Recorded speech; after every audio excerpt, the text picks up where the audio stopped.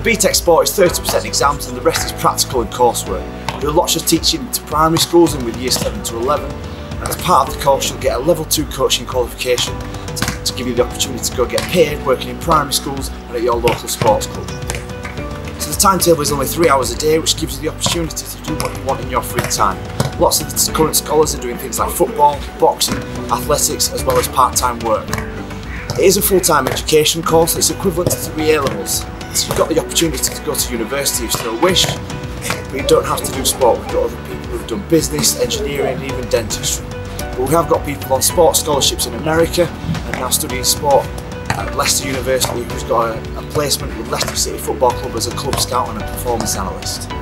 This timetable was very convenient for me as it allows me to do my athletics training and um, a part-time job as well.